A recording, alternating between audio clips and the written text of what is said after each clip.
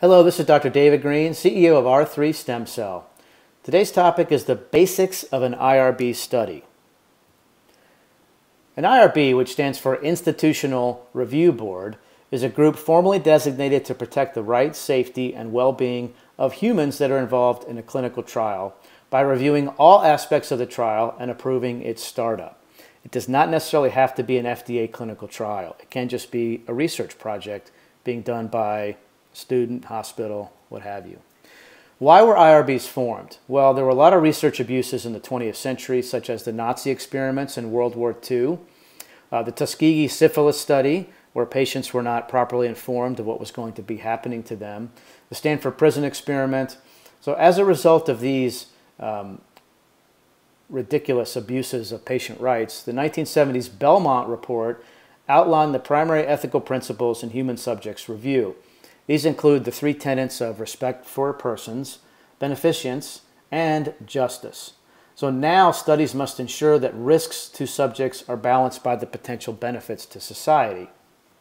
In July of 1974, the passage of the National Research Act established the National Commission for the Protection of Human Subjects of Biomedical and Behavioral Research. Wow, say that 10 times real fast. All right, on a federal level, uh, the IRB review assures compliance with federal regulation uh, 45, uh, Code of Federal Regulations, Part 46, essential to conducting human research and protects both your subjects' rights and your institution's ethical and legal responsibilities. So the IRBs themselves are regulated under the purview of the Department of Health and Human Services. So there are two bodies that have developed accreditation standards for IRBs. One is the National Committee for Quality Assurance and the Association for the Accreditation of Human Research Protection Programs. So the accreditation indicates that your organization follows rigorous standards for ethics, quality, and protections for human research. So typically what will happen is whoever wants to do the study will go to an IRB and that IRB will then oversee the study and that IRB has accreditation from one or both of these groups. So when does a study need an IRB review? Uh, if someone's about to conduct research involving human subjects that will obtain data through intervention or interaction with the individual, a subject's identifiable private information, records gathered on human subjects, or samples of human tissue, then you will need IRB approval of all human subjects protection protocols before the study can begin.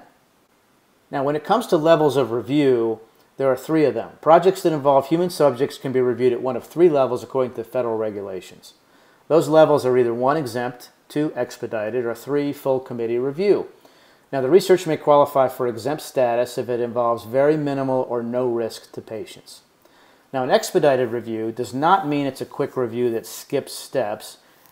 It means if it involves no more than minimal risk to the participants and it meets some other standards, such as no deception involved um, or other uh, vulnerable uh, participants, things like that. A full review is any proposed research that doesn't qualify for the other two, uh, in which a majority of the IRB members review and vote on the proposal. For an expedited review, it may be that you know only one person um, in the group reviews it. So who makes up an IRB? Well, it needs to be at least five members, and these members should have varying backgrounds. At least one member must represent a non-scientific area, a lay member of society. And at least one member must not be affiliated with the institution or the trial site. Competent members who are able to review and evaluate the science, medical aspect, and ethics of the proposed research trial. Now, elements of the review that may be under the purview of the IRB could be obviously the clinical protocol, uh, the informed consent, any outcome instruments that the patient will be filling out either uh, verbally or online or whatnot, and then the advertising materials, uh, such as you see here on the right. Now, what are the benefits of an IRB review? Number one is that it protects human subjects so they are not exposed to unnecessary risk and it ensures that patients are advised of the risks and benefits that they'll be facing. It also protects vulnerable populations. We're talking about uh, children, prisoners, women who are pregnant, those with diminished mental capacity, etc. It ensures protection of patient data and confidentiality. It has provisions for reporting adverse events should they occur. There are regular reviews to ensure compliance with the protocol. It makes sure that the risks are acceptable compared to the benefits that are possibly achieved.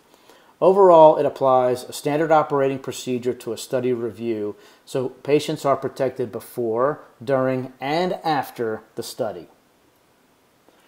So at R3, we truly want to make a difference in patients' lives by helping them avoid surgery and remain as active as desired.